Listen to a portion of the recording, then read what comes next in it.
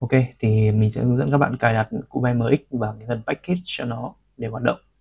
Đầu tiên thì các bạn sẽ vào cái link ở trong cái phần mô tả của video. Đây, cài đặt HTML32 Cube MX. Rồi các bạn sẽ kéo xuống cái phần link này.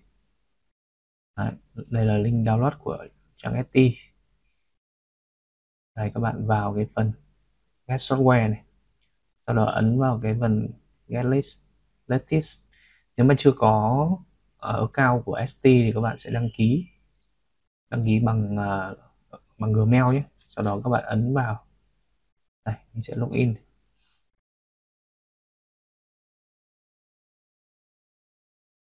Rồi sau đó các bạn sẽ ấn vào get listed thì sau khi các bạn đào về thì nó sẽ được ra một cái bản này.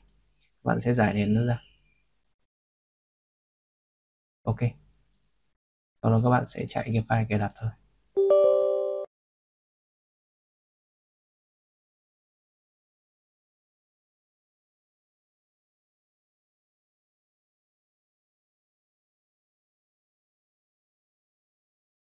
Save này.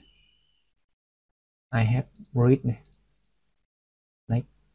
Next. Ok.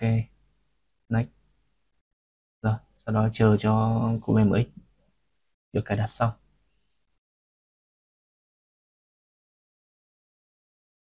Rồi, ok. Rồi, như thế là các bạn sẽ đã cài đặt xong rồi. Và sau đấy thì các bạn sẽ phải mở cụm MX ra và các bạn sẽ cài package cho nó.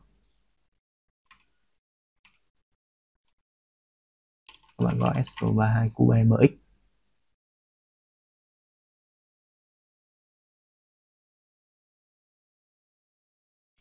sau khi mở được cái Cube MX thì các bạn sẽ login vào cái trang ST của mình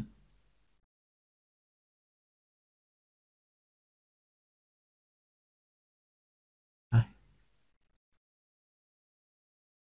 Bạn copy cái mật khẩu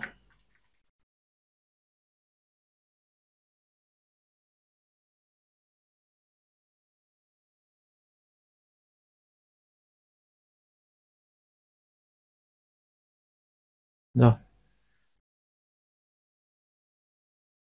Ok. Sau khi nó chạy xong một lúc ấy, thì các bạn sẽ ấn vào cái phần install or remove remove embedded software package Đấy, các bạn install. Thì các bạn sẽ chọn cái dòng vi điều khiển mà các bạn muốn lập trình. Thì ở đây mình sẽ có hai dòng là dòng F1 và dòng F4 thì các bạn nhìn vào đây các bạn sẽ tích vào cái phiên bản mới nhất của dòng F1 này. Đấy. Rồi sau đó là tìm thấy dòng F4 phiên bản mới nhất của dòng F4 rồi các bạn ấn install. Thì nó sẽ chạy tới khi nào mà nó sẽ download xong.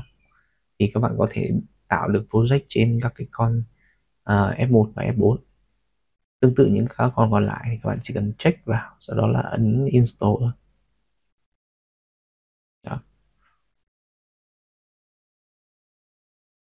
Ok, sau khi cài đặt thành công thì nó sẽ có biểu tượng màu xanh như thế này. Rồi các bạn ấn close. Sau đó các bạn muốn tạo một cái project thì các bạn ấn vào Asset to MCU Selector hoặc là Asset to Box Selector. Ở đây mình sẽ Asset to MCU. Mình sẽ tạo một project cho con F103. Đấy. Chờ nó chút để nó download cập nhật.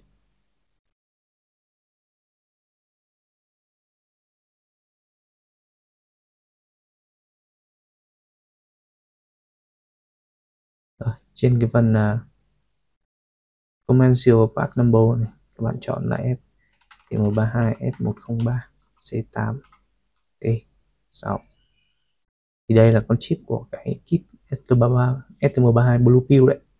Gọi là nó Start Project. Đó. Như vậy là các bạn đã cài đặt thành công. STM32 Cube mới.